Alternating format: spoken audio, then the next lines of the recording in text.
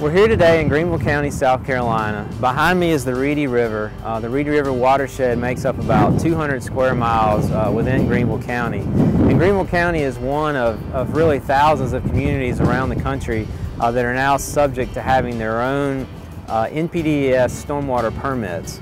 Uh, as part of the county's permit, they're required to do ambient and stormwater monitoring, and the county is, is meeting that objective with some of the equipment that you see here. Um, the, the, county is using a number of sensors both to measure uh, stage, the flood stage, as well as a number of water quality parameters.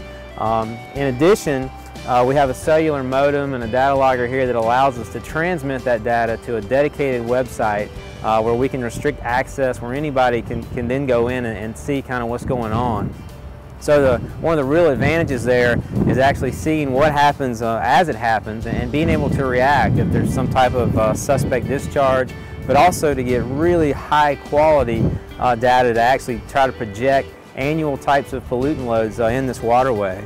Uh, one of the one of the real objectives or one of the real benefits here is that this kind of replaces a, a more traditional approach where you would go out and take a manual grab sample.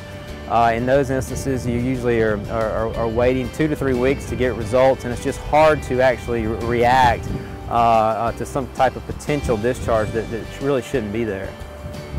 Woolpert can replicate the successes that we've had in Greenville County, South Carolina for other municipalities and counties and build a, a, data set to meet both NPDES permit requirements and to implement or challenge total maximum daily loads.